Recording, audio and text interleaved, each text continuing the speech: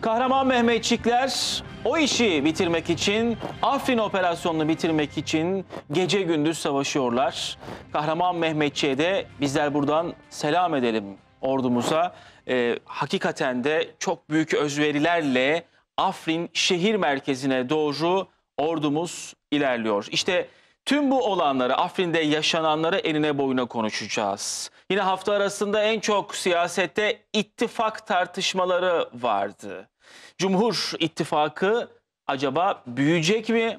Yoksa Cumhur İttifakı'nın karşısında hangi blok olacak? Saadet Partisi biraz kilit konumda. Saadet Partisi'nin tavrı ne olacak? İşte tüm bunları her zaman olduğu gibi daimi konumuz Sayın Hüseyin Gülerci ile birlikte konuşacağız. Sayın Gülerci hoş geldiniz. Hoş bulduk Sayın Akıncı. Ee, hemen bir son dakika gelişmesini de aktaralım izleyicilerimize. Türk Silahlı Kuvvetleri e, yaklaşık 5-10 dakika önce yaptığı bir açıklamayla e, Afrin'deki terör hedeflerine yönelik operasyonda etkisiz hale getirilen terörist sayısının 2612'ye yükseldiğini açıkladı. 3000'e doğru e, ilerliyor terörist sayısı, etkisiz hale getirilen terörist sayısı. E, hemen hemen tahminler şuydu, e, 8000, 9000 teröristin Afrin'de yer aldığı şeklindeydi. Ee, önümüzdeki günlerde şehir merkezine doğru yaklaştıkça e, bu rakam da artacaktır. Şimdi o zaman madem öyle Afrin'den e, hazır söz etmişken Sayın Gülerci, Evet. Afrin'de yaşananları bir izleyelim. Hafta arası neler yaşandı? Dün Raco düştü. Afrin'de adım adım zafere doğru ilerleniyor. Mehmetçiğin ilerleyişi sürüyor. E, hafta arasında Keltepe'de e, maalesef şehitlerimiz vardı. E, bundan sonraki süreçte nasıl bir operasyon bizi bekliyor Sayın Gülerce? E, hem iç siyasete etkisi bunu nedir? Dün raconun düşmesiyle e, şimdi operasyonlar yeni bir safhaya geçmiş oldu. E, sokak sokak, ev ev, Meskun Mahal. meskun mahal çatışmaları olacak. Ama o konuda askerimizin de milletimizin de bir endişesi yok. Sadece dualarımız var. Şehitlerimizin sayısı az olsun diye. Mesela bu Keltepe'deki o hain pusuda 8 askerimizin birden şehit olması gerçekten e, sarsıyor insanı. E, öbür tarafta bir denge için değil de işte dünden bu yana 78 terörist daha etkisiz hale getirilmiş. 2600'e çıkmış. Bir karşılaştırma için değil. Asıl zayiat onlar veriyor. E bu neticede bir savaş yani. E, evet terörle mücadeleye savaş denmesi doğru değil ama neden doğru değil? İşte savaş devletler arasında oluyor. Hı hı. Buna savaş denir. Neden? E bunların arkasında devletler var. Çok açık. Amerika silah veriyor. 5000 tır, 2000 kargo uçağıyla. Bir savaşın içindeyiz. Başka sahalarda da bizi sıkıştırıyorlar. İşte 15 Temmuz darbe girişimi o savaşın bir başka cephesiydi, başka yönüydü. Dolayısıyla ben savaş demede beis görmüyorum. Yani Tabii 7 düvel diyoruz. Doğru hakikaten de 7 düvel. Sadece Hepsi terörle, orada. terörle mücadele değil bu yani. Şimdi biliyorsunuz Güneydoğu'da e, bunlar e, fırsattan istifade etmeye kalkıp işte çukurlar, hendeklerle göya şey ilan edeceklerdi oralarda. Öz yönetim. Öz yönetim ilan edeceklerdi. E, bu çok e, ağır biçimde onlara zayiat verdirerek ordumuz tarafından özel kuvvetler tarafından kumandolar, Jandarma özel jandarma harekat, özel polis özel harekat, harekat. polis özel harekat bastırıldı. Ama orada bir tecrübe kazanıldı. Zaten PKK ile 35 yıldır yapılan mücadelede silahlı kuvvetlerin elbette bir tecrübesi oldu. Şimdi o Çukur Hendek e, operasyonlarındaki tecrübe e, Raco'da devreye girdi. E, Cindere'de devreye girecek. Tabii herkesin gözü kulağı Afrin'de. E, zaten buradan kaçanlar, Raco'dan kaçanlar güneyden Afrin'e gittiler. Orada ne kadar bir yığınak yaptılar biliyorsunuz Raco'nun düşmesi 8 saate aldı. Ki Raco konusunda özellikle örgüt hesaplarından, Twitter hesaplarından görüyorduk. İşte müthiş savunmamız olacak şeklinde tweetler atıyorlardı. İşte Türk ordusu gelince burada görecek diyorlardı ama çok çabuk düştü. Şimdi hakikaten biz biz de sıradan vatandaşlar olarak merak ediyoruz. Ee, ya bu kadar hendekler kazmışlar kilometrelerce birbiriyle Ya. irtibatlı. İşte tanklara tuzak falan deniyor da ben e, artık o konuda da ikna olmadım yani tank bir, bir kurma yaklı deniyor. Ben orada bir kurma yaklı göremiyorum. Neden göremiyorum? Ya bu hendeklere bir iş düşmedi ki yani PKK'lılar adına. Bugün artık çok namlulu Roket atarlar. roket atarlar var. Bunun hende, hendekle bir alakası yok. Tank oraya gi- gitmeden, top oraya gitmeden zaten işleri bitiriyor. En önemlisi İHA'lar, SİHA'lar var.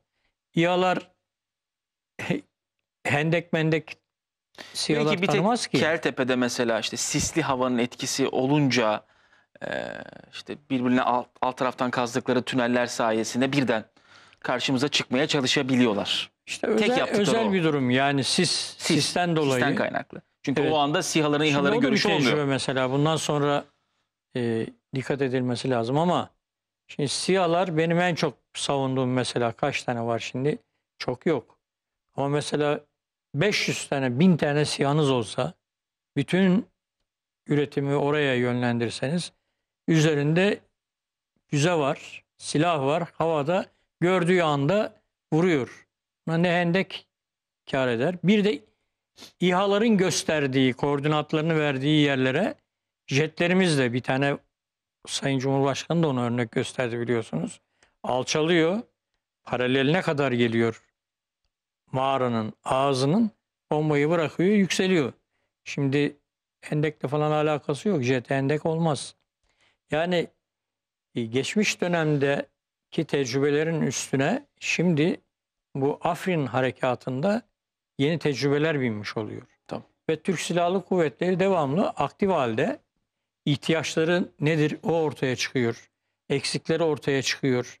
Nerede daha başarılı olunuyor o ortaya çıkıyor. Fırat Kalkanı da çok şey kattı Evet. Suriye'de. Mesela ÖSO'ya da fazla, mesela çok şey kattı. fazla hepsi. üzerine durmuyoruz ama Sayın Cumhurbaşkanı ile Sayın Başbakan altını çiziyorlar her fırsatta. Ee, Afrin'den sonra Menmiş diyorlar. Sonra Fırat'ın doğusu Irak sınırına kadar. Yani bütün e, Suriye ile Yani olan Kobani ile başlayacak bir Kandil'e kadar gidecek Yani- bir sürece girebiliriz. Söylüyor sırayla Cumhurbaşkanı da söylüyor. Ya bunun kararı alınmış. İşte Amerika numara çekip bizi durdurmaya çalışıyor. Ee, bazen şeye devreye sokuyorlar bu e, Salih Müslim'in mesela yakalanması olayının gerçekten asıl amacı nedir? Birazdan Ee, ona geleceğiz. Bu arada Jöh ve Pöhler'in de e, Afrin'deki sahadaki görüntüsü de vardır. Arkadaşlar onu da DSF olarak Evet, versinler. onun üzerine de hazır e, Ee, sokak ardından da Hulusi geçeriz. çatışmaları olacak. Onlar mesela şimdi devreye giriyorlar. Gerçi onlar Evet. açık arazide de savaşabilen e, eğitimi almış insanlar. Evet, Evet. işte jandarma özel harekat ve polis özel harekat ekiplerimiz e, daha sonradan Afrin'e işte girecekler. Meskun mahalle operasyonlarda tıpkı 2015 yılındaki terör operasyonlarında sokak sokak, bina bina Evet. operasyon yapan tim. Şimdi bunlar tabii çok özel yetiştirilmiş askerlerimiz. E, gece görüşlü e, dürbünleri var. Kasklarında silahları da gece görüşü var. E, ve o, şimdi burada güzel bir şey daha var. Altını çizmek lazım. Jandarma özel harekat timleriyle polis özel harekat timleri birlikte gidiyorlar bakınız. Yani Evet. ikisinin arasında da bir koordinasyon var. Ayrıca komandolar var. Ee, özel harekat timleri var. Bizim millet olarak şu anda dua etmemiz lazım. Kesinlikle. Ben zaman zaman eee, düşünüyorum. Benim gibi herkes düşünüyordur. Biz şimdi normal hayatımıza mesela devam ediyoruz değil mi? Sabah kalkınca işte kahvaltıya oturulacak, şu iş yapılacak. Hatta gezi pazar günü için program yapmış olanlar vardır. Oraya gidilecek. İşte maçlar devam ediyor. Statlar doluyor. Yani öyle iki ayrı dünya ki şimdi bu. Bir yanda normal hiç kimsenin değiştirmediği bir hayat var, yaşam var. Bir yandan da hayatıyla, canıyla imtihan olan askerlerimiz var. Ve bu çok çok farklı. İnsanın en zor imtihanı canıyla olan imtihandır. Yani buradan konuşması kolay. Kolay. Ama şimdi o şartlarda elinde silah göğüs göğüse neredeyse çarpışmaların içindesin. Her an şehit olabilirsin.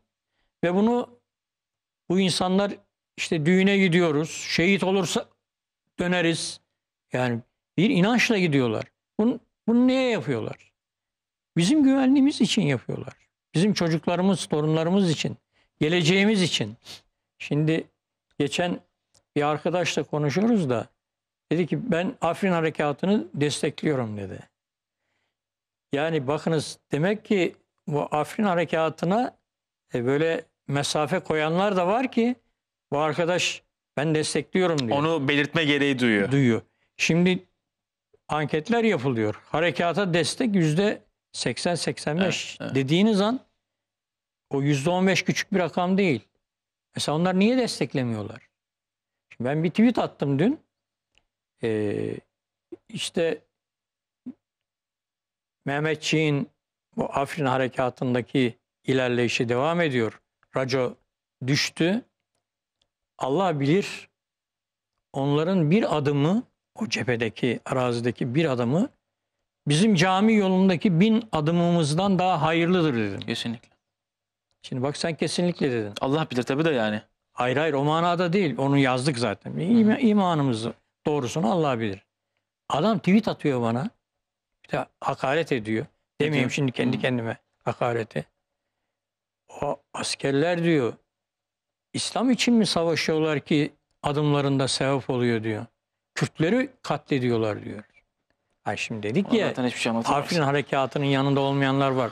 Mesela HDP'lilerin yüzde sekseni desteklemiyor anketlere göre. Tabii. Şey, nereden belli? Ya HD, HDP'lilerin açıklamalarından belli. Şimdi sustular tabii tepkiyi görünce. Değil mi? Şeyle Hendek'te, Hendek'tekilerle bu Afrin'dekilerini bir tuttular. Kongresinde son Ankara'daki. Eski eş genel başkanları da yeni eş genel başkanları da. Şimdi sabah sabah seyircimizin canını sıkmayalım da onları tekrar okuyarak hatırlatarak ama şuraya bakar mısınız? Şu operasyonu Kürtleri Kürtlerin katliamı diye söyleyen birisi bu milletin evladı olamaz. Bizim milletimizin bir ferdi olamaz. Yani seyir mi etseydik? Onlara karşı harekat Kürt oldukları için yapılmıyor. Bizim birliğimize, vatanımıza kastettikleri için yapılıyor. Ki içlerinde Kürtlerden başkaları da var. Avrupalılar çıktı. Çok sayıda Avrupalı terörist Evet. var. Öldürülen teröristler var işte. Yani Farklı milletlerden, Birleşmiş Milletler gibi hepsi orada. şunu mu diyorlar? Bizim güneyimizde, Suriye sınırımızda bir terör PKK. devleti kursun PKK. Biz seyredelim. Sonra gelsinler bizi Kandil'den geldikleri gibi şehirlerimizde, ilçelerimizde, meydanlarımızda katletsinler. Havaya uçursunlar insanlarımızı. Bunu kimse unutuyorlar. seyredemez. Yani biz Afrin'e gitmesek Afrin zaten bize gelmişti. Terör saldırılarıyla zaten gelmişti canlı bombalarla. Kaldı ki yani PKK'nın e, HDP'nin Kürtlerin temsilcisi olduğu yalanı bir algı operasyonu. Yalan bu. Nereden yalan? E seçimlerden belli. Yani HDP evet Kürt siyasi hareketi bu topraklarda 150 yıldır vardır. 150 yıldır Batı masaya yatırdığı zaman Türkiye'yi nerede zayıf noktası var Türkiye'nin? Mesela Türk-Kürt çatışması çıkartabiliriz diyor. Ne zaman diyor bunu? Bir buçuk asır önce söylüyor. Sünni Alevi meselesi. İlericilik gericilik meselesi. İşte zaman zaman söyleniyor. Jön Türkler Avrupa'ya gitmişler. İyi çok güzel. Ne olmuşlar? Devlet düşmanı olup gelmiş çoğu. Şimdi buna kızanlar da var. Öyle oldu. Maalesef. Geldiler Türkiye'de devlet düşmanlığı yaptılar. E İşte 28 Şubat'ta bir bir şeyleri hortlattılar. Güya adına irtica dediler. İşte 21. hiç yılı birazdan konuşuruz. Bu beşinci kol faaliyeti bunlar. Evet. Yani Türk-Kürt meselesi, Sünni Alevi meselesi, ilericilik gericilik meselesi, laik dindar çatışması meselesi yaşam tarzları üzerinden. Halbuki bu topraklarda hoşgörü vardı. Sivas'ta, Çorum'da Hayrettin Karaman Hoca'nın sözünü hiç unutmuyorum. O Çorumlu. Ya bizim Alevi komşularımız vardı. Yemek getiririz, götürürüz, bayramda ellerine gideriz, geliriz. Bu toplumda öyle bir ters bakış yoktu. Ama işte her darbe öncesinde Sivas, Çorum, Maraş olayları öyle Sivas Madımak Otelinde çözülememiş daha Öyle diri diri canların yakılması Evet. sanki intikam alınıyormuş diye topluma çatışmayı derinleştirmek için başbağlardaki katliamlar ya bunların hepsi darbelere bahane yapıldı ya. Darbe öncesi oldu. Ve bunların hesabı sorulmadı bakınız. Yani Sivas olaylarında dönemin bakanı işte e, rahmetli Ecevit Başbakan'dı. İçişleri Bakanı DSP'dendi. Yalvarıyor. Telefon açılıyor kendisine. Kendisi de sonradan söylüyor. Yani iradenin, sivil iradenin eli kolu bağlanmış. Sünni Alevi çatışması çıksın diye. Sonra PKK'yı pehdaladılar. 35 senedir illa bir Türk-Kürt çatışması çıkartacaklar. Bizim Kürt kardeşlerimiz buna itibar etmedi ki. Dünyada başka hiçbir millet bu kadar tahrike, provokasyona, kalleşliğe dayanamazdı. Bizim Kürt kardeşlerimizle, Türk kardeşlerimizle hepimiz bu kalleşliğe göğsümüzü siper ettik. Yaralarımıza hançer sapladılar. 15 Temmuz'un da zemini işte mesela e, Güneydoğu'daki öz yönetim ilanlarıymış. Onun, onun için bunu söyleyenler kalleştir. Aynen öyle. Türk ordusu, ordumuz Afrin'de Kürtlerle savaşıyor. Hayır. Teröristlerle, ölücülerle, Amerika'ya yaslanmış adamlarla, Avrupa'nın kucağına oturmuşlarla savaşıyoruz biz. Niye onları Avrupa destekliyor ya? 15 Temmuz'a niye sahip çıkmadılar? Ne Amerika'sı ne Avrupa'sı.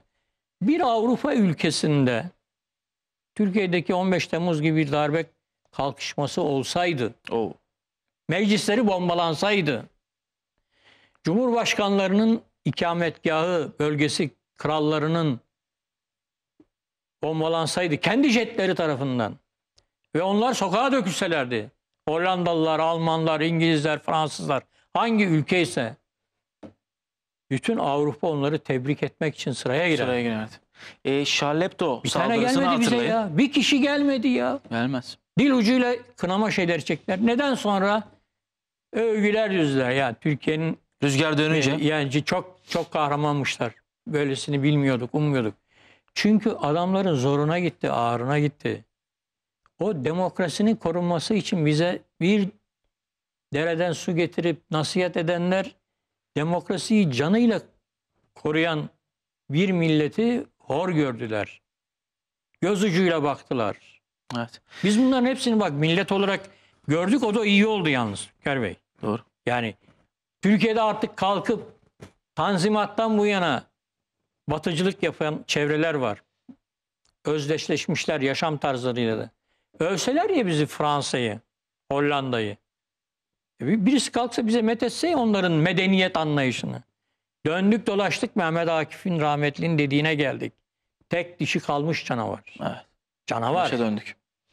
Hebdo saldırısında Fransa'ya biliyorsunuz bütün başbakanlar, cumhurbaşkanlara gitti, kol kola girdi, bir yürüyüş yaptılar. Türkiye'de defalarca terör saldırısı oldu. Hiç öyle bir tablo için maalesef gelmediler hiçbir ülkemize. İki Şimdi, yüzlülüğü burada Avrupa'nın E, zaten. adamlar bo- bozuldular yani. Çok. Bu, bu darbe olsaydı hepsi sahip çıkacaklardı. Başta NATO. Diyecekti ki bir NATO üyesi olan Türkiye'de istikrar tehlikeye girmiş, kaos ihtimali belirmiştir. Bu müdahale yerindedir. Biz de destekliyoruz diyeceklerdi. Şimdi aklımıza geldi. Bu darbe teşebbüsünün bastırılmasından bir iki gün sonra NATO'dan bir görevli üst rütbeli komutan açıklama yaptı. Bizim birlikte çalıştığımız insanlar Evet, derdest edildi. Yani bundan sonra NATO zaafa uğrayacak demeye getiriyor. Vay vay vay. Batı kadar iki yüzlü. Bak bu FETÖ'nün iki yüzlülüğü var ya. İnanınız Batı'nın iki yüzlülüğüne denktir. Zaten en sonunda Haçlıları da övdü ya. Bu kadar iki yüzlü bir şey görülmemiştir. Şimdi şimdi ortaya çıkıyor. Bu iki yüzlülüğü. Çünkü Aslında 7 Şubat Haçlılara övmesini 2012 verebiliriz. Madem Haçlılara övmesinden bahsettiniz Yo, verebiliriz. Birazdan sıra, da veririz. yok, Sonra sıra oraya gelecek. Tamam. Şimdi biz bu Afrin Harekatı'nın Çanakkale'den sonra, İstiklal Savaşı'ndan sonra bizim yeni bir diriliş irademizi göstergesi olarak görmemiz lazım. Bak normal hayatlarımız devam ediyor. Şeyden farklı olarak, Çanakkale'den farklı olarak. Orada bir seferberlik hali vardı. Şu anda bir seferberlik hali yok. Hani işte e, söylendi bir ara sefer görev emri falan. Cumhurbaşkanı söyledi. O, o Allah'ın izniyle şu anda görüyoruz. Profesyonel ordunun, profesyonel askerlerin yapacağı operasyonlar burada. Ben geçen hafta da söyledim. Ha, tamam gideyim ben de gönüllü yazılayım. Ne olacak zaten yaşadığımız kadar yaşamışız. Ama ayak altında dolaşırsın. Silahı tutmayı bilmiyorsun, kaldırmayı bilmiyorsun. Orada e, şimdi bayan subaylarımızı gösterdiler dün. Nene hatunların torunlarını. E şimdi bir topu idare ediyor yüzbaşı, topçu yüzbaşı. Şeyi e, ben mesela çok dikkat ediyorum şimdi dikkatimi çekti daha doğrusu. Bizim o e, obüslerimizin etrafında çok enteresan yüksek böyle çuval gibi gözüküyor. Kumla doldurulmuş siperler var. Hmm. Tahkimat var yani. Sadece namlu gözüküyor karşıdan. Tabii tabii. Peki ama o arazinin düzlenmesi değil mi? Onların hazırlanması bunlar epey bir iş. Hani şimdi sıra oraya geldi. Kimisi ya yavaş gitmiyor mu diyor. Çok anlıyor bu işlerden de. İlla eleştirecek aslında yani. Yani daha hızlı giderler ama gitmiyorlar. Yani o kadar komutanlar orada idare ediyorlar operasyonu. Onun haberi yok ama buradan sallayan birinin haberi var. Madem komutanlar da dedik Hulusi Akar sınıra gitti. Kuvvet komutanlarıyla birlikte. Şu iki gerekçeyi tamamlayayım. Tamam. Yani neden yavaş e, gidiliyor, Gidiliyor. deniyor. Birincisi e, bizim insan zayiatımızın az olması için. Daha az şehit ve yaralı vermemiz için. iyice kontrolü alıp oraları sağlama alıp gidiyoruz. İkincisi de sivillere zarar vermeme hassasiyeti var. Dolayısıyla orada askeri bir ortak akıl var. Orada kurmay aklı var. Tabii ki. Ya o ölçüyorlar, biçiyorlar. Ona göre harekatın belki yarım gün ara veriyorlar. Mesela her gün uçaklar bombalamıyor. Değişik şekillerde manevra, harekat şekilleri ortaya konuluyor. Askerimiz Allah'a şükür işini çok güzel yapıyor. Milletimizin duası onlarla beraber. Ne güzel söylendi tekrar. Galip et Allah'ım çünkü son ordusudur İslam'ın İslam. o rahatsız oldu ya e, düşmesinden en son artık Afrin'e sıra gelmesinden Hı hı. burada Kürtler katlediliyor diye. Aydınları hatırlayınız 1128 128. Aydın da Çukur Hendek şeylerinde devlet kendi halkını Kürtleri katlediyor diye bildiri yayınlamıştı. Bak bak dikkat ediniz. Orada bölücülere karşı, teröristlere karşı mücadeleyi önünde aydın kelimesi olan 1128 kişi devlet halkını katlediyor diye dışarıya jurnallediler. Madem oradan örnek verdiniz. Nusaybin'de mesela diyorlar ya neden operasyon hızlı ilerlemiyor? Mardin Nusaybin'de 3 kere gittim. Terör operasyonları sırasında. Tabii bilemiyorsunuz Ee, ama karşınızda teröristler var. Ee, çok fazlaca hatta en fazla şehit yer, verdiğimiz yerlerden biri Nusaybin'dir. Çünkü bunun sebebi daha sonra ortaya çıktı ki Nusaybin operasyonunu yönetenler FETÖ'de 15 Temmuz'da destek verenler ve şu an cezaevindeler. Ve çok fazlaca şehidimiz vardı. Çünkü istihbaratlar söylenmiyordu. FETÖ tarafından engelleniyordu. E, bu da şehitlerin yani hızlı ilerliyordu operasyon ama çok şehit veriyorduk. Bakınız FETÖ bu toprakların gördüğü en büyük ihanet hareketidir. Fethullahçı terör örgütü. Böylesi görülmedi. İyi hatırlattınız. Mesela hükümet çok eleştirildi. Çözüm sürecinde dediler. Neredeydi bu Erdoğan? Bu hükümet neredeydi? Uyumuşlar. Bütün her yere silah depolamış PKK. Hazırlık yapmış bir kalkışma için. Böyle hükümet mi olur? Sonradan çıktı ki Diyarbakır'ın emniyet müdürü Ya. bu istihbarat şube müdürlerinin başındaki insanlar hepsi PKK'ya çalışmışlar. Göz Tayyip Bey Ankara'dan nasıl göz yumacak silah yığmasına PKK'nın? Oradaki emniyet mensupları göz yumarsa PKK silah yığınağı yapar. Ve şimdi ortaya çıktı ki onların hepsi FETÖ, FETÖ. üyesi emniyetçiler. Ya düşünebiliyor musunuz? Bir yandan adam diyor ki Güneydoğu'da yurtlar açıyoruz, kardeşliğimizi pekiştiriyoruz, sahip çıkıyoruz insanımıza. Bu bizi kandırmak için. Tıpkı Türk Cumhuriyetlerinde açılan okullarla bütün bir toplumu bir şeye sevk ettikleri gibi sempatiye. Ama asıl yaptıkları şey ne? Darbeye insan yetiştirmek. Silahlı kuvvetlerin içerisinde hem de her kuvvet içerisinde deniz, kara, hava, jandarma 25-30 senedir adamlarını yerleştirmişler. Hepsi Emniyete de yerleştirmişler. Ve Güneydoğu'da sadece emniyet içerisinde PKK'ya yardım edenler çıkmadı. Generallerin içerisinde de çıktı. Oradaki generallerin içerisinde de. Ya bu nasıl bir iha- ihanet ya? Bu nasıl bir ihanet? Ve hala devam edenler var. Bugün de konuşacağız mesela. Kontrollü telefonlarla Evet, ankesörlü 5000 telefonları. bilinmeyen insan şimdi açığa çıkarıldı. 5000 görevde ankesörlü telefonla irtibat kurmuşlar. Ürkütücü rakam. Bunlara hala destek verenler var. Yani daha önce de söyledim de bu Pensilvanya'daki FETÖ elebaşı Fethullah Gülen ölmeden bunların hipnozu bozulmaz. Çıkmazlar bunlar hipnozdan. Çünkü hala onu gönderilmiş bir kurtarıcı gibi görüyorlar. Bütün bu olanları bitenleri de tövbe aşağı her peygamberin zamanında böyle acılar yaşanmıştır diyor adam ya. Böyle bir inanç Sapıkça olabilir mi? zihniyet. İhanetin ihanetin savunulmasına bakın. Hain. PKK ile işbirliği yapmışsın. Amerika ile işbirliği yapıyorsun. Avrupa Birliği ile işbirliği yapıyorsun. Herkesle işbirliği yapıyorsun Türkiye'nin düşmanlarıyla. Bir de kalkıp hala hiçbir şey olmamış gibi konuşuyor biliyorsunuz. Bülent. Evet, evet. Biz, bizimkiler yapmadı. Biz yokuz. Hep bu zalimler. Hükümet zalim, Erdoğan zalim. Evet. Peki şimdi Hulusi Akar'ı bir izleyelim. Doğal sesleri varmış. Hulusi Akar e, sınırdaki birlikleri denetlemişti. Verelim arkadaşlar o görüntüyü. Oradaki Mehmetçi'ye ne büyük moraldir. Genelkurmay Başkanı kuvvet komutanlarıyla orada. Onların heyecanını da aslında gördük Mehmetçiğin de askerinde. Şimdi bakın İçişleri Bakanımız gidiyor. Genelkurmay Başkanı, kuvvet komutanları gidiyor. Bu tablo hiç unutmayalım ki FETÖ ihanetinin arkasından hasret kaldığımız tablo. Evet. Yani Başbakan da söyledi birkaç gün önce. Ya kurmay subayların yüzde yetmiş FETÖ'cü yapılmış. Yüzde yetmiş Yani aslına Ordumuz- bakarsanız tam tersi %28'i FETÖ'ye sızmaya çalışmış. Öyle değil mi? Tam Ya- tersi düşününce. Yani ordumuz elden gidiyor, emniyetimiz elden gidiyor. Yargı 15 bin savcı ve hakimin 5 bin tanesi FETÖ'cü çıktı.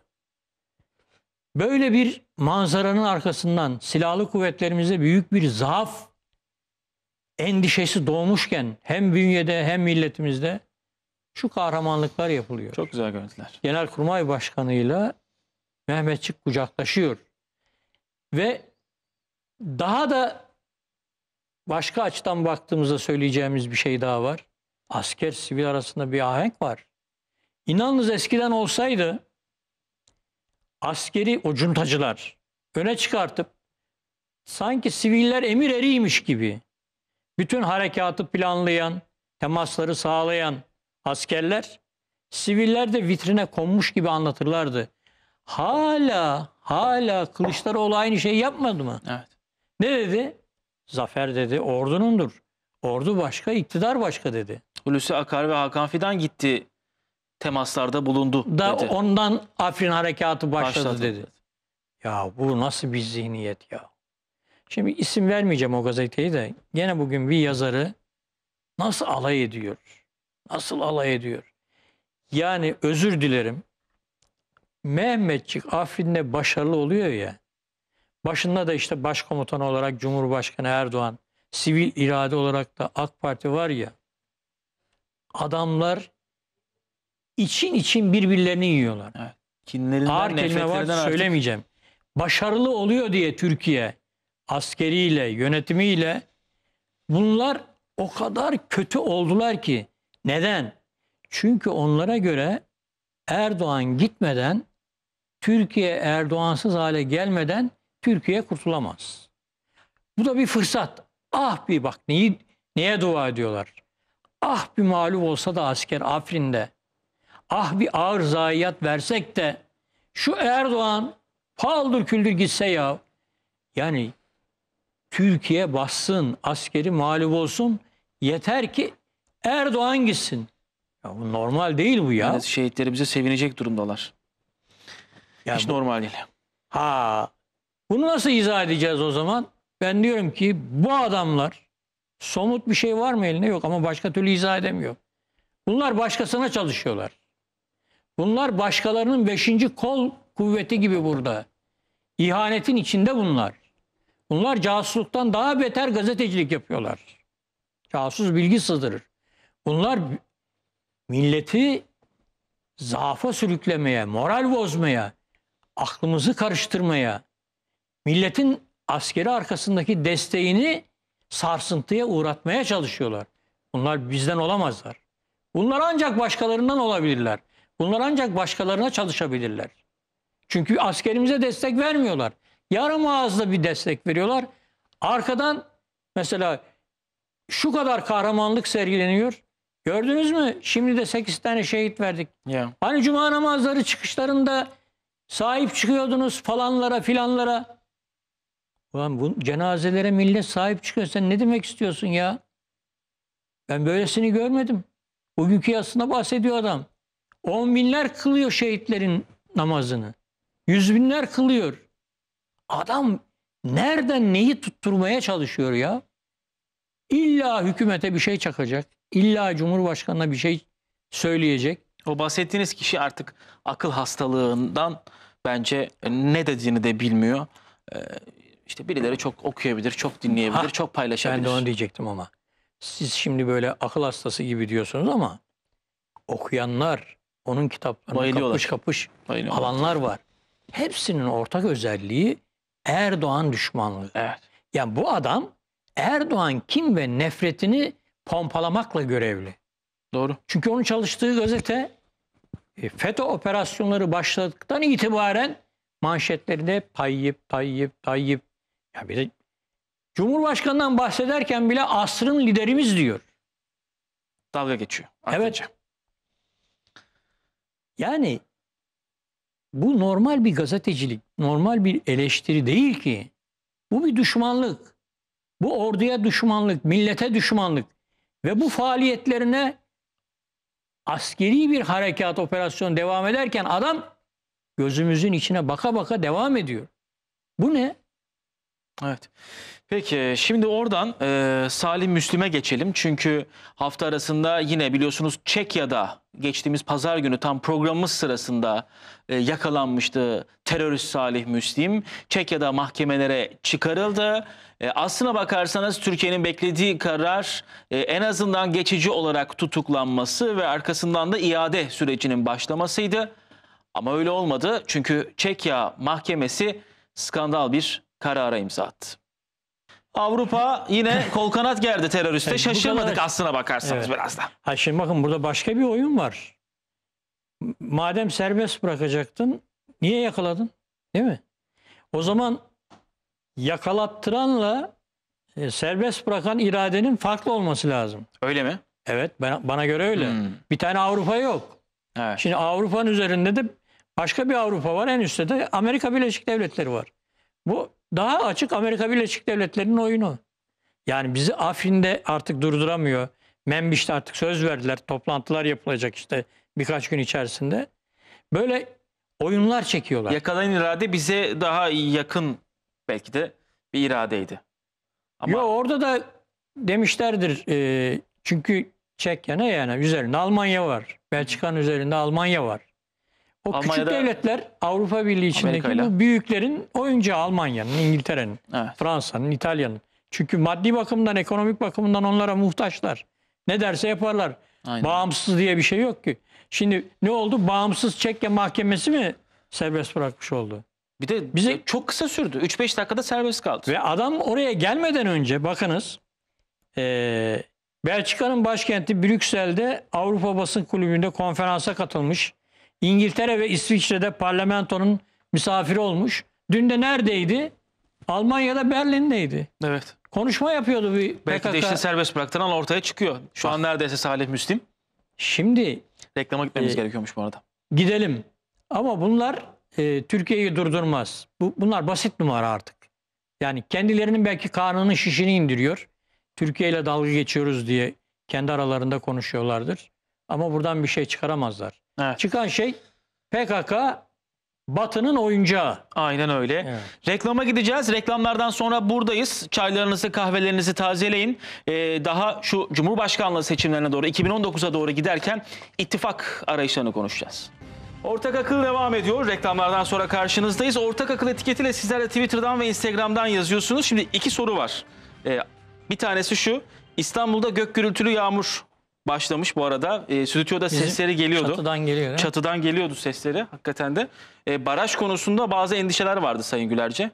E, 7 gün boyunca meteoroloji açıkladı yağmur varmış. Zaten barajlar çok şükür e, doluluk oranı yükseldi. Yükseldi, yükseldi. %80-85 civarında. Ben Yalova'dan da biliyorum Gökçe Barajı'ndan. E, laf arasında öyle haberler yapıyorlar ki onu da söyleyeyim. Laf arasında ya gene barajlar çöktü, su bitti. Felaket temelli. Böyle haberleri öne çıkaranlar oluyor. Ya bunlar nasıl insanlar ya? Yani sırf hükümete zararı dokunsun diye millet susuzluk çeksin bunlar razı ya. Vallahi öyle. O neyse. Neyse. Cevap oldu onlara da. Ee, İkinci soru da yine burada izleyicilerimizden çok fazla sorulan sorulardan biri. Ee, reklamlardan önce isim vermeden bazı gazetecilerden, bazı yazarlardan bahsettik. Neden onların sesi daha çok çıkıyor Sayın Gülerci? İsterseniz ben bu soruyu not almış olayım. 28 Şubat'ta medyayı konuşacağız ya. Aha. Orada söyleyeyim. Tamam. Öyle yapalım o zaman. Sesleri neden çok çıkıyor? Evet unutmayalım bunu. Şimdi birazdan 28 Şubat'ı konuşacağız ama bu hafta yine en çok konuşulan ittifak arayışlarıydı. Önce Saadet Partisi e, Genel Başkanı Temel Karamollaoğlu'nun bir açıklaması var. Onu izleyelim. E, ardından da e, CHP'den bir Abdullah Gül açıklaması vardı ama önce gelin Saadet Partisi'nin açıklamasını bir izleyelim. Peş peşe iki açıklamayı verdik. E, Saadet Partisi özelinde nedense birileri Saadet Partisi'ni daha önce hiç görmezken, hiç gündeme getirmezken, sanki öyle bir parti yokmuş gibi davranırken Sayın Gülerce birdenbire Saadet Partisi'ne metiyeler düzülmeye başlandı. Ve işte arkasından Dursun Çiçek'in açıklamasını da izledik. Gerekirse diyor Abdullah Gül olur inşallah da diyor adayları diyor. 2007'de biliyorsunuz Cumhurbaşkanı olmaması için neler neler yaptı CHP. İmza da veririz diyor. İnşallah sen ekledin. Şimdi e, bir şey döndüğü anlaşılıyor. Anlaşılıyor. Ne dönüyor? Biz e, seyircilerimize biraz kendi açımızdan izah etmeye çalışalım. Şimdi Saadet Partisi Abdullah Gül yan yana neden getirildi? Neden telaffuz ediliyor? Bunu başlatan e, Saadet Partisi Genel Başkanı Sayın e, Temel Karamollaoğlu oldu. E, 20 Şubat'ta e, Sayın Karamollaoğlu e, çıkaracakları adayın tabanı ve kamuoyunu tasvip ettiği bir kişi olacağını söyledi ve birkaç kez görüştükleri eski Cumhurbaşkanı Abdullah Gül'ün adaylık için ihtimallerden birisi olduğunu açıkladı. Yani bizzat Saadet Partisi Genel Başkanı Sayın Abdullah Gül'ün adını telaffuz etti. Hı hı. Şu ikisi yan yana ondan geldi. Evet. Birkaç kez görüştük diyor. Ee, olabilir mi? Evet ihtimallerden birisi diyor. Şimdi tam da ben e, 1 Mart'taki yazımda Star'da bu ilkeler ittifakı Abdullah Gül için mi diye bu başlıkta bir yazı yazdım. O gün CHP İstanbul Milletvekili Dursun Çiçek biraz önceki sözleri söyledi. Neden istiyor e, CHP Saadet Partisi'nin Abdullah Gül aday göstermesini. Aslında Dursun Çiçek laf arasında onu da söyledi. AK Parti tabanından da oy Oy alır. al- alabilir dedi. Evet. Oy alır dedi. Şimdi e, şey de e, ben ona evet ittifakı diyeyim. Yani referandumda e, evet verenlerin Cumhurbaşkanlığı seçimi için ittifakı. Adı ne? Cumhur İttifakı. Bu ittifakta şimdi kimler var?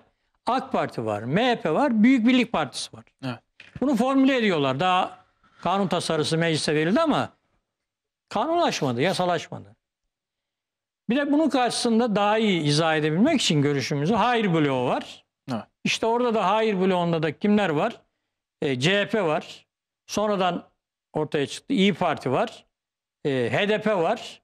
Saadet Partisi de e, evet demedi. Hayır dedi.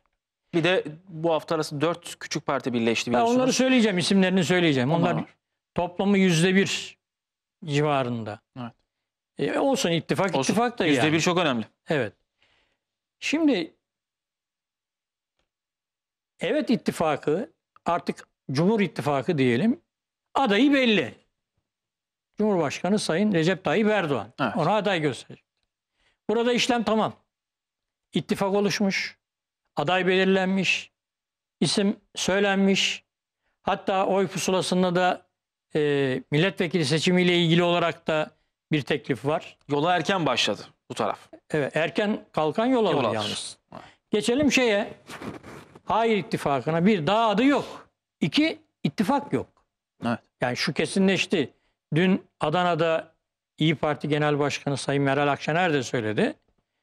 Seçime giderken AK Parti, MHP ve Büyük Birlik Partisi'nin yaptığı gibi üç parti bir araya gelip bizim adayımız e, Abdullah Gül dedikleri gibi bu tarafta öncesinden bir araya gelip bir isim üzerinde anlaşma olmayacak.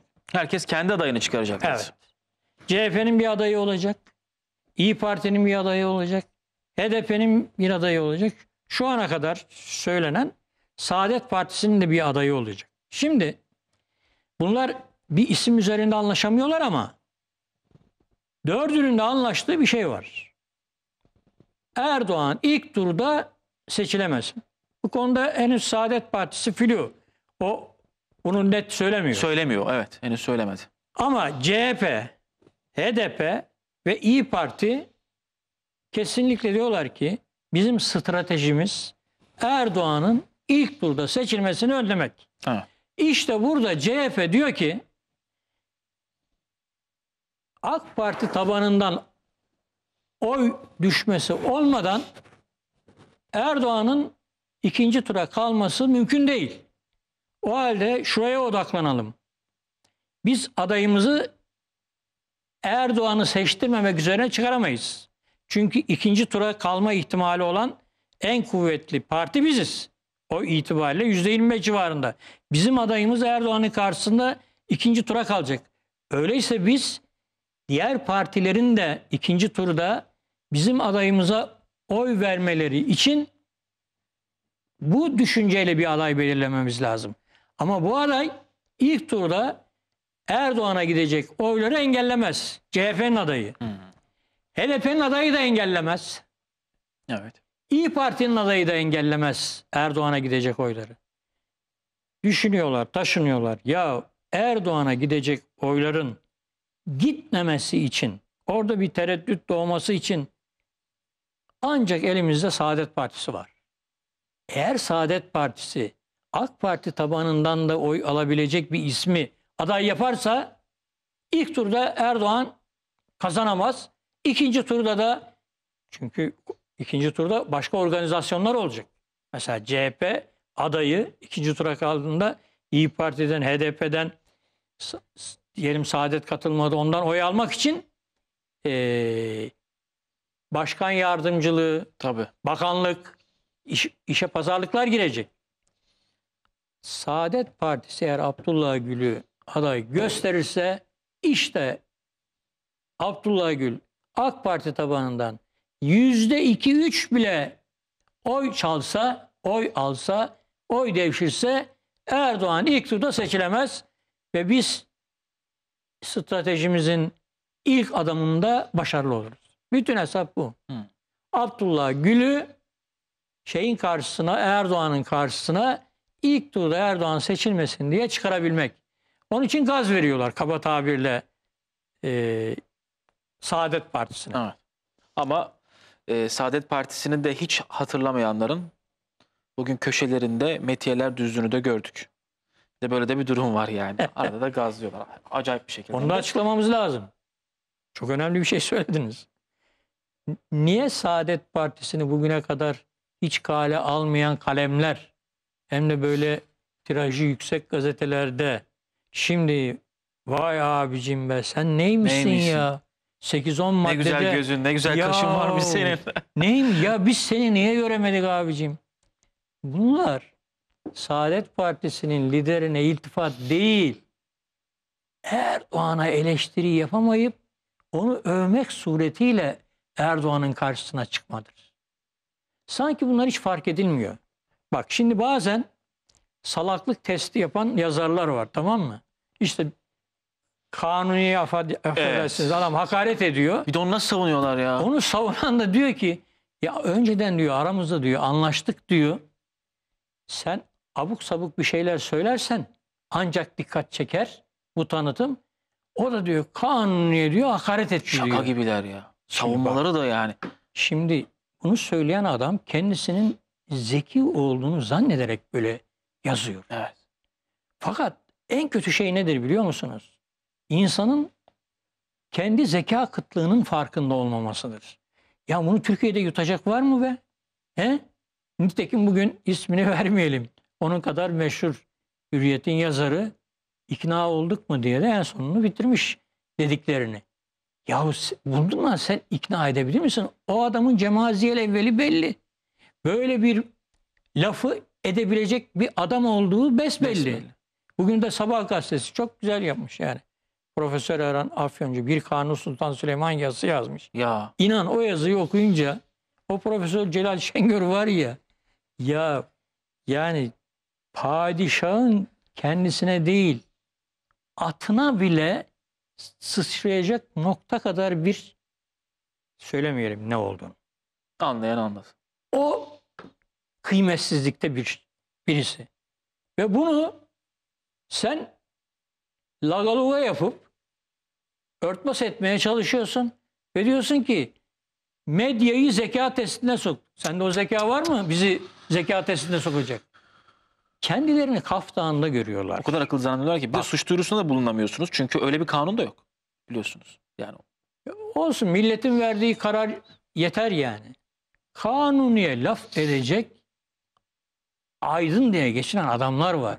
Sen kanuni devrini biliyor musun ya? ya. Sen sen kimsin kanuniyle ilgili böyle hakarette bulunacaksın ya? ya? Kimsin yani?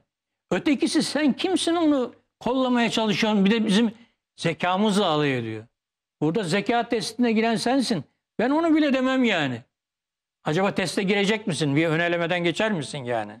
Herkesi de almıyorlar ikinci basamak sınavına. Önce birinci Tabii. basamaktan belli puan alman lazım. Fakat bunların borusu ötüyor Türkiye'de. Hala adamlar ko- konuşuyorlar yani. Yazıyorlar. Bunlar şeyin 28 Şubat'ın da artıkları aynı zamanda. Yani 28 Şubat'ta bunların havaları vardı. Geldik mi oraya? Geldik. 28 Şubat'a geldik madem. Başbakanın açıklamaları var. Şu şeyi bitirelim e, ittifak meselesini. CHP heyeti de İyi Parti Genel Merkezi'ne gitti biliyorsunuz. İşte bunların hepsi adayımızı biz kendimiz çıkaralım. Aslında burada Tufa'ya gelen İyi Parti de neden? Onlar Meral Akşener'in kesinlikle CHP adayı yerine ikinci tura kalacağını düşünüyorlar. Yani nasıl işte bana Meral demesinler diyor mesela Adana'da ya onu buldun mu bakayım? Ee, Biraz Bak, bak diyor ki e, bu seçimlerde diyor e, YSK diyor şeyde diyor referandumda diyor hile yaptılar diyor. evet. Ama diyor 16 Nisan'da benzeri bir davranış göstersin de görelim. Anasından doğduğuna pişman etmezsem ben de Meral değilim. Aa, şimdi diyor ki şimdi Meral Hanım eskiden de İçişleri Bakanlığı da yapmış da insanlar kendilerini değişik görüyorlar. En e, büyük zaaf insanın kendisini olduğundan fazla görmesi. Yani işte benim gibi boyu 1.65 olan bir adam öyle bir aynaya bakıyor ki "Lan ben niye basket oynamıyorum be bu boyla 2 metre boy var. Yok öyle bir şey. Yani kendisinin ikinci tura CHP adayını da geçerek kalacağını hesapladığı için Meral Akşener CHP'liler de bana oy verecekler diyor. Evet. Daha oraya gelinceye İkinci kadar suların- 50-50 olur. diyor. suların altından şey köprülerin altından çok sular akacak. Daha oraya gelmedik. Ama şu var. Bir tarafta Cumhur İttifakı'nda e, gönüllü bir beraberlik de var. Yani şimdi koalisyon dediler tutmadı.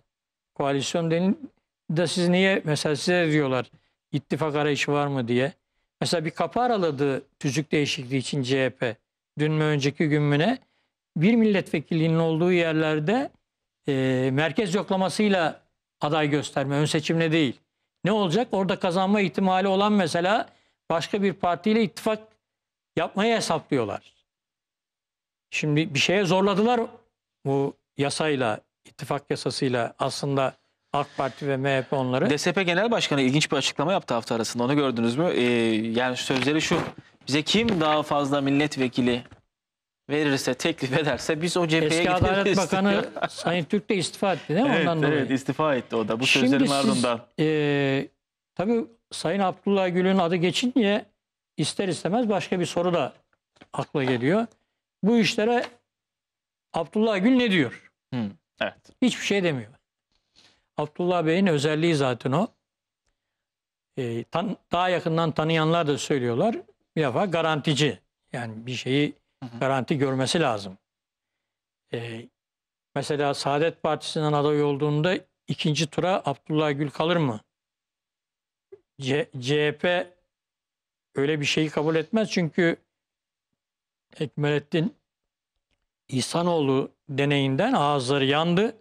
O zaman da CHP'li tabana Abdullah Gül'ün aleyhinde bir sürü Öyle şey bir yazılacak. CHP'nin düşük profilli bir aday çıkaracağı yönünde de iddialar var. Bu hafta arasında köşede yazanlar bunu da iddia etti. Ben burada e, Sayın Gül'e şunu demek isterim.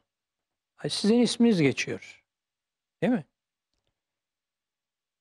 Siz böyle bir şeyi düşünüp düşünmediğinizi açıklamadığınız sürece isminiz üzerinde spe- spekülasyonlar devam edecek demektir.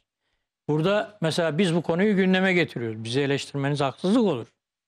Siz çıkıp deseniz ki ben Saadet Partisi değil, hiçbir partiden adaylık düşünmüyorum.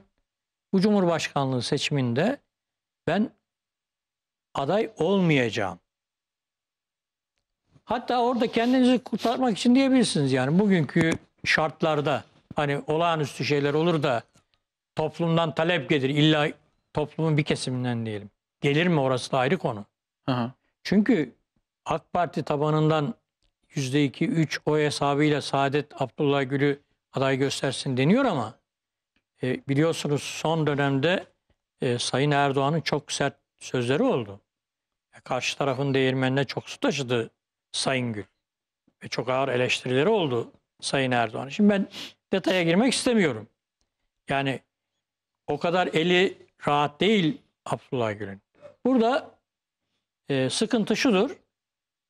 İsminden bu derece bahsedilirken Sayın Gül'ün e, hiçbir şey dememesidir. Halbuki kendisinin ifadesi var. E, Türkiye'nin temel meselelerinde Cuma namazı çıkışlarında konuşuyordu biliyorsunuz. Yani bu temel bir mesele değilse Cumhurbaşkanlığı e, onu biz bilemiyoruz. Belki de önümüzdeki günlerde bir açıklama Evet. yapacaktır.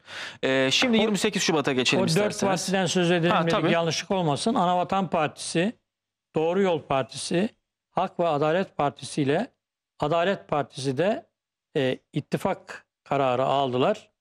E, ne diyelim hayırlı olsun. Hayırlı olsun. Ee, %1'e yakın oyları var yine de. Evet. Ee, şimdi Başbakan Binali Yıldırım 28 Şubat'ın Türkiye'ye maliyeti Evet. 390 milyar dolardı dedi. O sürecin 21. yılını geride bıraktık. Ee, 28 Şubat'ta yaşananları birazdan bir hatırlayacağız ama önce Başbakanın açıklamalarını izleyelim. Başbakan 28 Şubat'ın şöyle bir portresini çizdi. Cumhurbaşkanı Erdoğan da hafta arasında Afrika ziyaretinde e, artık 28 Şubat davasında sıra sivil kanada geldi dedi Sayın Gülerce. E, bundan sonraki süreç işler mi? Bu şekilde e, bir telaş da var sanki bu tarafta anladığım kadarıyla 28 Şubat'tan sorumlu olanlarda. İşte sesleri çok çıkıyor, neden çıkıyor diye Evet, soruyorsun evet, ya. evet. Şimdi sırası geldi. İnsanların bir kısmı mezarlıktan geçerken yüksek sesle şarkı söylerler. Sesleri ondan çıkıyor. 28 Hmm. Şubat'ın medya ayağına dokunulacağı düşüncesi 28 Şubat'ın kalemşörlerinin şu anda uykusunu kaçırmış vaziyette. Şey gözüküyorlar, bize bir şey olmayacak tavrı sergileyerek oralı olmadıklarını göstermeye çalışıyorlar. Öyle değil. Öyle bir laf var. Kazın ayağı öyle değil, perdeli. Devamında ekliyorsun. Evet. Kazın ayağında perde var. Şimdi 28 Şubat ne zaman oldu?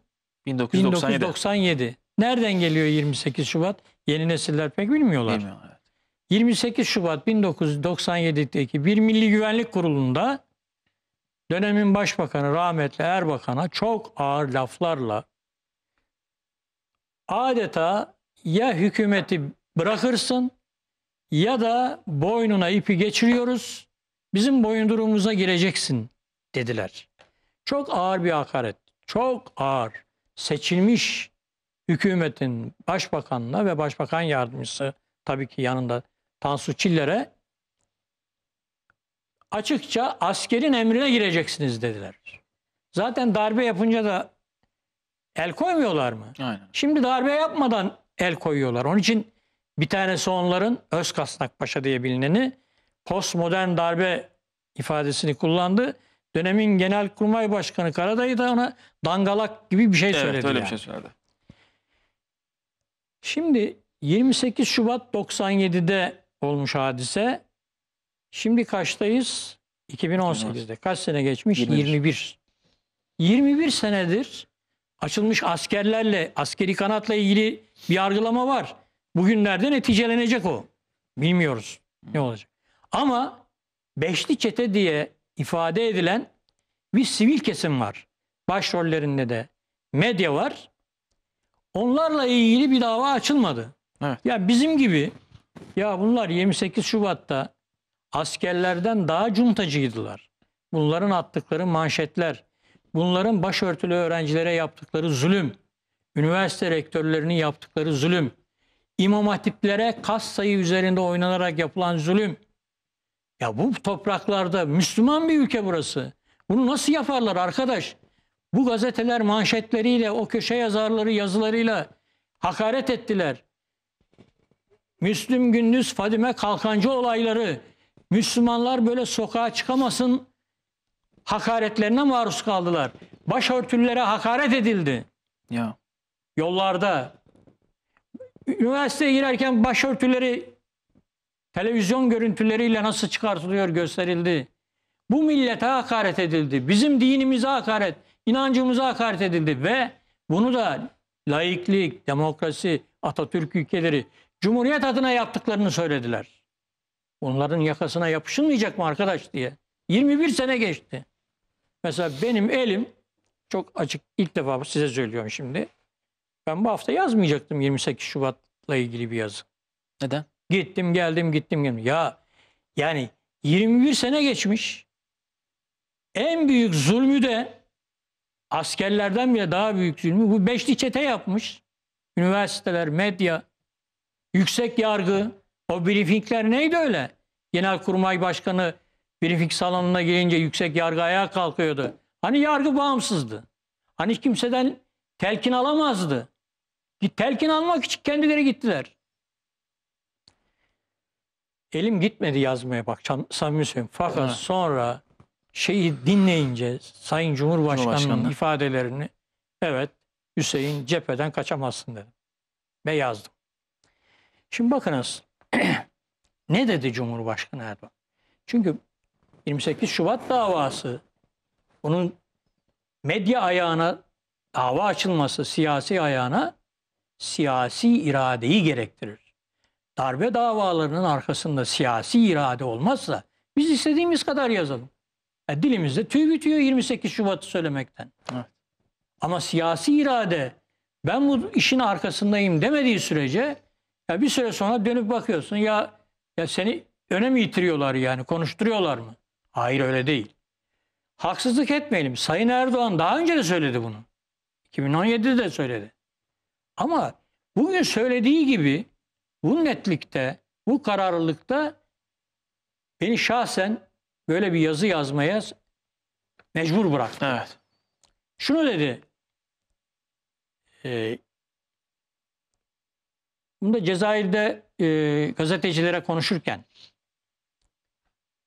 sıra 28 Şubat davasında sivil kanada geldi. Demek sıraylaymış bir daha var. Yani bizim e, biraz eleştiriye kaçan e, sistemimizden e, biraz sarfı nazar etmemiz lazım. Sırayla. Neymiş sivil kanat? Sendikalar, medya, iş dünyası. O dönem beşli çetemi ne diyorlardı? Hemen Üniversite hatırlatayım rektörleri. beşli çeteyi. 28 Şubat'a ilişkin diyor ya beşli çete diye. Türkiye İşverenler Sendikası Konfederasyonu TİSK. Türkiye İşçi Sendikaları Konfederasyonu Türk İş. Dikkatinizi çekerim. İşverenler Sendikası, İşçi, İşçi Sendikaları. sendikası. Hepsi aynı oyunun içinde. Vesayetin kurumları bunlar. Evet. Bunlar sivil toplum falan değil. Vesayet ağlarının kurumları bunlar. Yukarıdan yani Amerika'dan. Yukarıdan dediğimizde flu, gizli saklı bir şey değil. Amerika'dan talimat gelince Türkiye'deki vesayet ağlarına onlar da adamlarına söylüyorlar. Beşli çete adamlarından biri bir de asker içindeki cuntalar. Türkiye Esnaf ve Sanatkarlar Konfederasyonu TESK. Vay be. Demek ki bizim esnaf ve sanatkarlarımız, işçilerimiz 28 Şubat darbecilerinin yanında yer almış. Diyebilir miyiz? Diyemeyiz. Sendika ağları başka. O sendikaya üye olan bizim insanımız başka. Başka. Hiç bizim insanımız, işçimiz, esnafımız, köylümüz darbe olsun ister mi? Aksine fişlendi çoğu Ya. biliyorsunuz. İşte başörtülü namaz kılıyor diye. Herkes fişlendi. Tabii ki yanlış anlam olmasın. O dönemin beş çetesi. Evet, evet. O dönemin Türkiye Odalar ve Borsalar Birliği ve sıkı durun o dönemin devrimci işçi sendikaları konfederasyonu DİSK. Kimler yan yana gelmiş be? Kimler? DİSK, Türk İş, TİSK, TESK, TOP hepsi bir arada. İşte onu diyor Sayın Cumhurbaşkanı. O dönem beşli çetemi ne diyorlardı? O süreçte neler yapıldığını benden çok daha iyi biliyorsunuz. Ama bunlara hiç mi hiç dokunulmadı şu ana kadar. Evet 21 senedir bunlara dokunulmadı. Onun için şimdi mezarlıktan geçerkenki gibi seslerini yükseltiyorlar. Ama eminim Sayın Erdoğan bu sözleri söyledikten beri iki gündür uyku gözlerine girmiyor bunların. Acaba bize ne yapacaklar? S- sıra bize geldi diyor Cumhurbaşkanı. Umursamıyor gibi yapıyorlar, gözüküyorlar. Evet. Mezarlıktan geçerken şarkı söylüyorlar. Umursamazlıkları o. Ama bunlara hiç mi hiç dokunulmadı şu ana kadar. Tamamen es geçildi. Şimdi muhtemelen bunlar da gündeme gelecektir. Savcının bir yaklaşım göstermesi dosyalarda bazı şeylerin öne çıktığını gösteriyor. Asrın liderimiz diye alay eden arkadaş sen uyuyor musun iki akşamdır? Dosyalar okunurken gözden kaçmış olanlar veya görülmek istenmemiş unsurlar herhalde öne çıkıyor. Şimdi muhtemelen bunlar da gündeme gelecektir. Bizim tek arzum- arzumuz adaletin tecelli etmesidir. O süreci yaşamış, kısmen bedel ödere, ödeyerek yaşamış biriyim. O işin sivil kanatlarının bizim üzerimizde oynadığı oyunları gördük. Yargı bu işin sivil kanadının hangi boyutta olduğunu da ortaya çıkaracaktır. Burada bir parantez açıp Sayın Erdoğan'ın önce sözünü okuyayım. Bir önemli nokta daha var. O zaman verilmiş 28 Şubat sürecindeki o ağır atmosferde baskıyla, yargıya baskı, emniyete baskı, baskıyla verilmiş kararlarla mağdur oldukları için haklarını arayan insanlar var. 28 Şubat'ın mağdurları. Onlar da şu anda mağduriyetleri devam ediyor. Cezaevinde olanlar var hala Evet. ya. Yani şaka gibi. Darbecilerin içeri attığı adamlar hala ceza veriyorlar. Cezaevinde hala. Bedel ödemesi gerekenler buyursunlar bedelini ödesinler.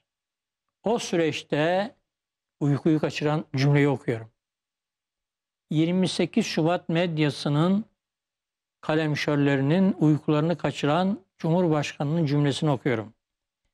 O süreçte köşelerinden çok rahat indirenler, bindirenler vardı. Bizim muhtarlığımıza kadar uğraşanlar vardı. Biz adaletin tecellisinden başka bir şey istemiyoruz. Nitekim hak geç de olsa tecelli edecektir. Evet. Şimdi demek ki önümüzdeki günler değişik günler. Biraz sıcak Bundan gelişmeler bizi sonra- bekliyor gibi. Bundan sonra farklı şeyler var gündemde. Bu siyasi irade durduğu sürece 28 Şubat'ta milletimize zulmedenlere, inancımıza saldıranlara mutlaka bir ceza gelecektir. Yaptıkları çünkü baştan aşağı suçtu. Ben şimdi görüyorum 28 Şubat medyasının sivil ayağının yargılanmasını isteyen televizyon yayın kuruluşlarında onların 20-30 tane manşeti gösteriliyor teker teker. Davanın görülmesinin bir önemi şu- şudur. Biz ne ceza verilecek, ceza verilir mi, verilmez mi? Ceza şu olacaktır. Yargılama sırasında bunlar hep gündeme gelecek. Mesela bu Müslüm Gündüz Kalkanca olayları, Ali Kalkancı, Fadime Şahin. Şahin olayları. Şimdi Hepsi bakın. kurgudan ibaret. Oo, burada laf gelmişken çok önemli bir nokta var. Yeni yeni devreye girmeye başladı. Aynısını ben şimdi size soracaktım. Nedense ben de öyle bir atmosfer görüyorum. Tam onu soracaktım. Buyurun. 28 Şubat'ın içinde FETÖ parmağı var mı? Hı. Bunun belgesini de bize kim verdi biliyor musunuz? CHP milletvekili Tuncay Özkan. Ne dedi? CHP milletvekili Tuncay Özkan o dönemde bir televizyon kanalının başındaydı. Muhabirlerini şeye gönderiyor.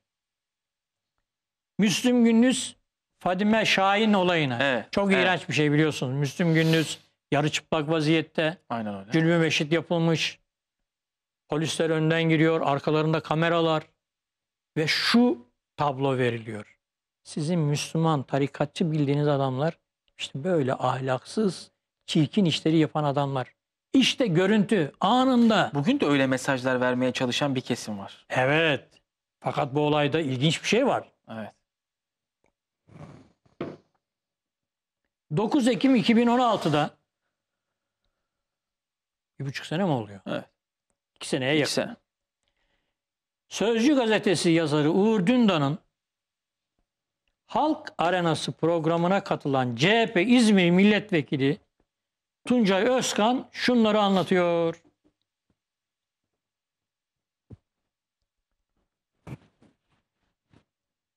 Çağırdım muhabir arkadaşı.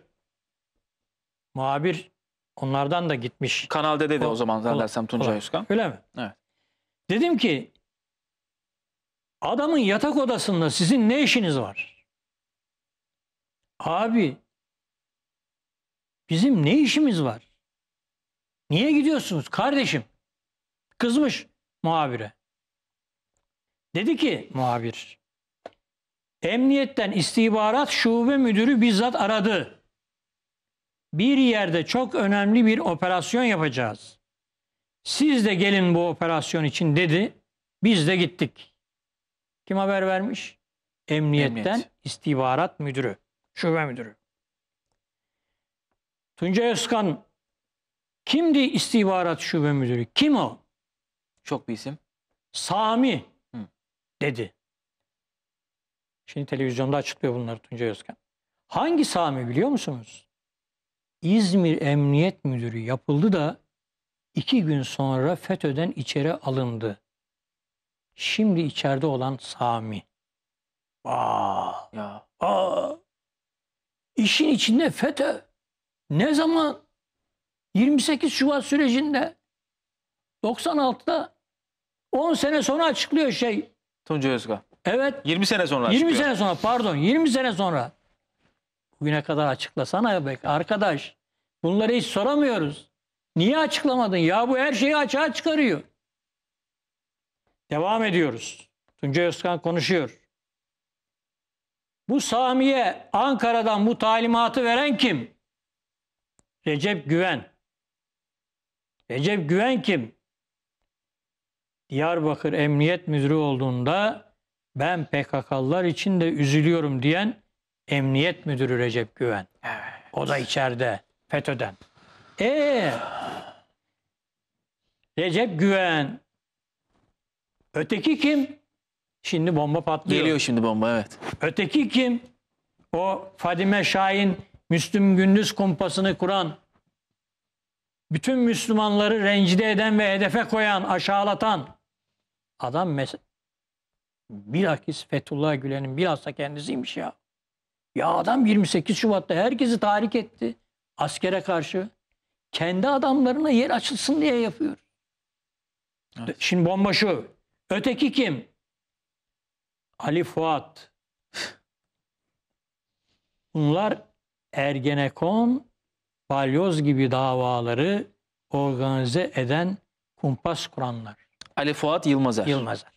Şimdi arkadaş bu 28 Şubat davası bir başka yönden daha yürüyecek. Sayın Cumhurbaşkanı, Sayın Başbakan ifadelerinden görüyoruz.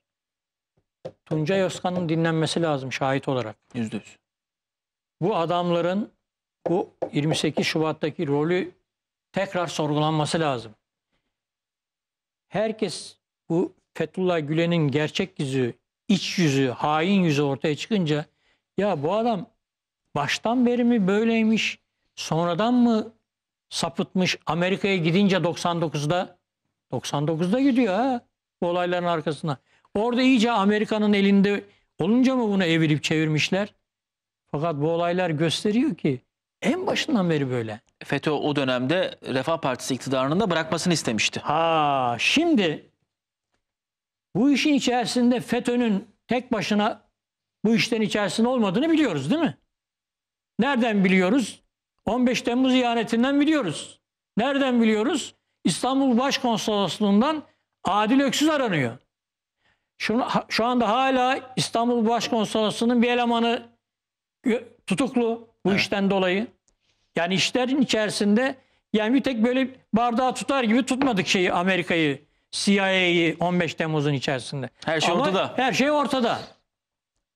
O zaman bu 28 Şubat süreci de refah yol hükümetini devirmek için yapıldığına göre işin içerisine Tuncay Özkan'ın anlattığına göre FETÖ'cü emniyet mensupları da girdiğine göre bu işin içinde Amerika'nın olması lazım. Somut biçimde var mı? Var. Burada birkaç defa anlattık ama yeri geldi bir daha anlatalım. Cengiz Çandar'ın Neşe Düzel'e hı. verdiği bir röportaj vardı biliyorsunuz. Evet. 20 şunları söylüyor Cengiz Çandar. Bak burası çok önemli. Şimdi artık peş peşe tutturuyoruz birbirinden. Nasıl Amerika, FETÖ irtibatlı bu işlerde. Hem 15 Temmuz'da irtibatlı hem 20 Bu sene arada önce reklama da çok az kalmış. irtibatlı. Bunu okuyup reklama Tamam. gidelim. Cengiz Çandar şöyle diyor. 28 Şubat'tan 2 hafta sonra 12 Mart 1997 Cumartesi günü tarihi gün ve yer veriyor. Washington'da Dışişleri Bakanı Albright'ın çağrısıyla bakanlığın 7. katında Türkiye toplantısı yapıldı. Bernard Levy, Paul Wolfowitz, Richard Perle hepsi orada. Abramovich, Abramovich Türkiye ile Amerika arasındaki ilişkilerde yazılı olmayan bir kod vardır. Erbakan bu kodu bozdu. Amerika ne yapacağı kestirilemeyen, kontrol edilemeyen müttefikten hoşlanmaz. Düğmeye basmışlar mı? Basmazlar mı? Hem de öyle bir. Ve arkasından DYP'nin içinden milletvekili istifa ettirmeler, Evet. yeni partiler bir araya getirip iktidara geçmeler ve refah yolu göndermeler. Sayın Yani dönemde Çiller'in Cumhurbaşkanı Süleyman Demirel'in de Evet, Çok Sayın Çiller'in askeri vesayet 18 altında Temmuz olduğunu söylüyor. 2017'de bu duruşmanın 89. celsesinde söyledikleri var. Zaten o helal olsun Sayın Çiller'e de olduğu gibi 28 Şubat'ın darbe olduğunu tek kelimeyle söylüyor. Anladım. 28 Şubat bir darbedir. O halde bu darbeyi yapanlardan, yaptıranlardan, yanında goygoyculuk edenlerden, halkın üzerine gidenlerden hesabı sorulmalıdır. Çünkü 28 Şubat'ın hesabı sorulmazsa son noktayı koyuyorum. 28 Şubat'ın hesabı sorulmazsa bu ülkede darbe hevesleri bitmez. Darbeci medya da bitmez. bitmez. O darbeci medyanın bir yazarı 28 Şubat'ta şunu demişti. İzleyiciler de atıyor bir yandan tweet. Gördüğüm her sarıklıyı, cübbeliyi, polisi şikayet edeceğim. Şikayetçi olacağım. Mahkemeyi takip edeceğim. Neler neler yazmışlardı. Şimdi reklama gideceğiz. Reklamlardan sonra buradayız daha. E, FETÖ ile ilgili konuşacaklarımız var. Ortak akıl devam ediyor. Artık son bölümdeyiz. E, Sayın Gülerci isterseniz FETÖ'yü birkaç haftadır tam olarak konuşamıyoruz ama Evet. aslında hep değiniyoruz. Zaman yetmiyor. Ama bu hafta yine çok sayıda operasyon vardı. Ankesörlü telefon operasyonu vardı. Ama dönüp dolaşıp e, o nokta aslına bakarsanız kendilerine ettikleri bedduaya geliyor galiba. E, ülkeye ettiler, lidere ettiler ama kendilerine geldi. Bedduanın tarihini hatırlatalım. 17 Aralık'tan 3 gün sonra 20 Aralık'ta Pensilvanya'da o devamlı konuşma yaptığı salonda 20 Aralık 2013. Evet. 20 Aralık 2013'te Yani FETÖ 17-25 Aralık'ın ortası. ortasında. Arkasında nasıl siyasi darbe? 25 Aralık geliyor. Evet. Evet. Bir beddua etti biliyorsunuz. O bedduayı bir hatırlayalım çünkü 5 yıl olmuş nereden Bir baksanız de üzerine artık. bir şeyler söylememiz Evet, lazım. Üzerine bir şeyler söylememiz Evet. lazım. FETÖ'nün geldiği nokta aslında o bedduayı özetliyor. Şimdi bu bedduanın dedim öncesinde şey var. Biz yaptıksak bizim de diyor. Evet. Asıl orası önemliydi. Biz yaptıksa şimdi onun yaptığı çıktı ortaya. Dolayısıyla ettiği bütün o bedduaların hepsi kendilerine döndü değil mi? Sokağa çıkamaz hale geldiler. Geçen birisi günlerdir arabada yatıyormuş. Savcı arabada yakaladılar. Eski savcı. Evet. İnsan içine çıkamadılar. Hatırlayacaksınız. 7 Haziran öncesinde seçimlerden önce 2015'ten önce ben dedim ki sokağa çıkamayacaklar, kaçacaklar. Bize şeyler geldi, mesajlar, Oo. tweetler geldi. Sen sokağa çıkamayacaksın diye. Sonuç. Şimdi sokağa çıkamıyorlar. Kaçtılar, firar ettiler. Bakın bu hafta bu bedduanın getirilmesinin bir sebebi de şu. Ee, ankesörden çıkan kripto listesi genelkurmayda diye bir haber var. Gazete Habertürk'ten Fevzi Çakır'ın haberine göre yapılan soruşturmalar sonrasında halen deşifre olmayan, halen deşifre olmayan ve FETÖ ile iltisakı bulunan çok sayıda subayın ismine ulaşıldı.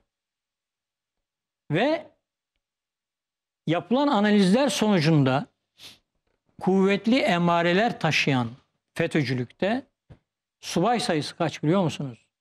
5000 civarında. 5000 civarında. yani, Ancak ankesörlü telefonların HTS yani kayıtları baylok maylok alınacak. yok hiçbir şey yok onlarda. Sadece ankesör Evet, telefonları. evet. Ve şimdi e, bir şey daha soruşturmalarda çıktı ortaya. Sosyal medya üzerinde algı oluşturmak için özel bir ekip kurmuş FETÖ başı Fethullah Gülen. Sosyal medya üzerinde algı oluşturma ekibi. Ve bu ökü, ekiple örgüt içerisinde Türkiye'nin işgal edilmesi beklentisi ortaya çıktı. Bunların yazışmalarından. Neler demişler mesela?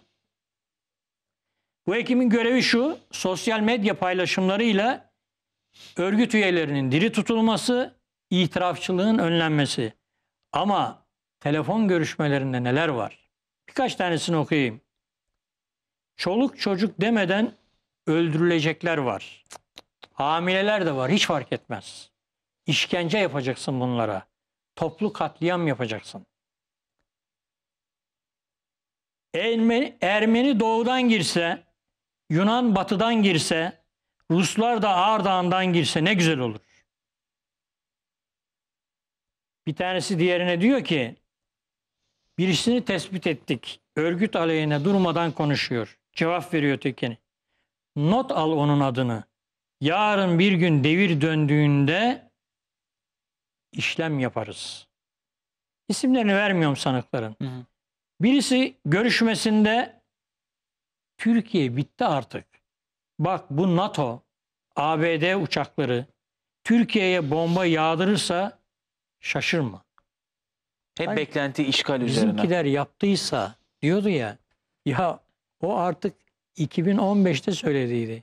Şimdi hepsini Fethullah Gülen'in özel yetiştirdiği adamların yaptığı besbelli. Hepsi ortaya çıktı.